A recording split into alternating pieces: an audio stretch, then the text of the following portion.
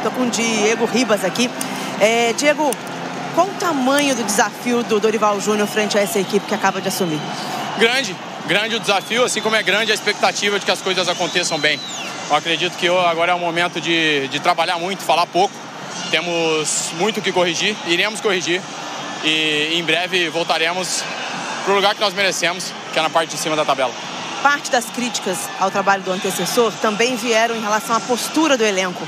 O que você pode dizer para a gente a respeito da postura do elenco? Bom, eu acredito que é um elenco vencedor, é um elenco que tem plena consciência de que não vai ganhar com o que fez no passado e sim com o que vai fazer daqui para frente.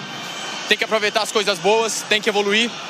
E deixei bem claro que a responsabilidade não é só da comissão ou do Paulo Souza, a responsabilidade é do grupo. Nós estamos aqui em conjunto, nós temos a responsabilidade, ele teve a dele. Nós temos que ser homem para assumir e homem para melhorar. E é isso que nós vamos fazer. Não tem muito segredo, não tem nada que esconder, nós nunca tivemos nada que esconder.